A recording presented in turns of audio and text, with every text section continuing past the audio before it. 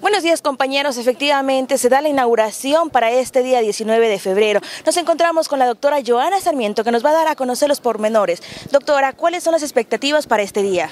Muchas gracias Marcelita, buenos días, realmente las mejores expectativas. Hemos desplegado un calendario electoral realizado con la debida anticipación. Se ha trabajado de manera muy profunda con todos los actores fundamentales en este proceso democrático. Nos referimos a las organizaciones políticas, los ciudadanos, los medios de comunicación, todo el personal logístico operativo del CNE y lógicamente al cual también brindando seguridad en este proceso se suma la Mesa de Seguridad Electoral. Llamar a toda la ciudadanía para que se acerque el día de hoy, un día histórico para todo el país. Así es, esta es una nueva oportunidad en la que los ecuatorianos vamos a poder... Eh, enrumbar a nuestro país realmente. Y la decisión que tomen los ecuatorianos, pues lógicamente tiene que ser, tiene que ser amparada en los principios, hacerlo con toda la responsabilidad.